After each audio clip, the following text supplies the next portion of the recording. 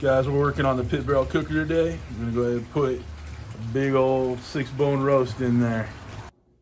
Okay, this is what's going down today. Six bone prime rib roast. We got a compound butter on there. Got my Grillaholic seasoning. I'm about to put that on that.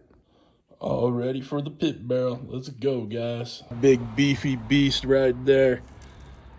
Big old six bone roast on our pit barrel cooker right there. It's looking dang good to me. Just pulled this bad boy off. Tipping 125 in the thickest part.